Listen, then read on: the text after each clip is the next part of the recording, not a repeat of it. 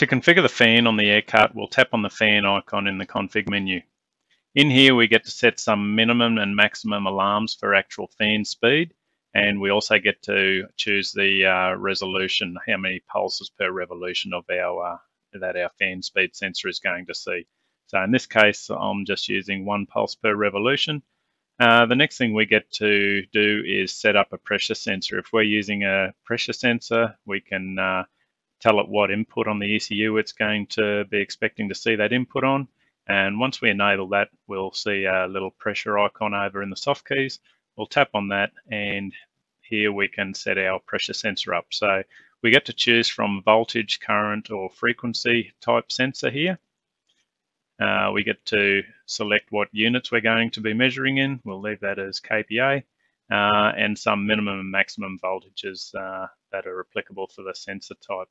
Um, there's also a minimum output, expected output in kPa, uh, as well as maximum there. Uh, usual defaults on those are pretty applicable to most air cart situations.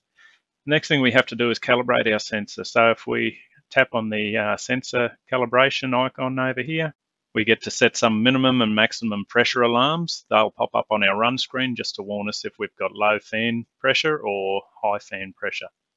Next thing we have to do is do a calibration on the sensor. So we'll press our play arrow here.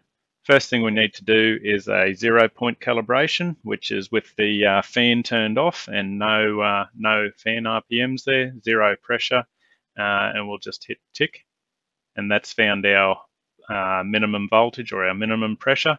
And then next thing we have to do is uh, start the machine up and run the fan up to a uh, to a normal working pressure, maybe a little bit higher, and measure it with an external gauge.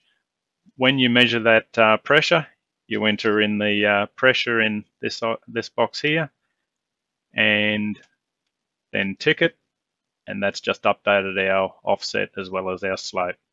Once that's done, we can return back to the configuration menu.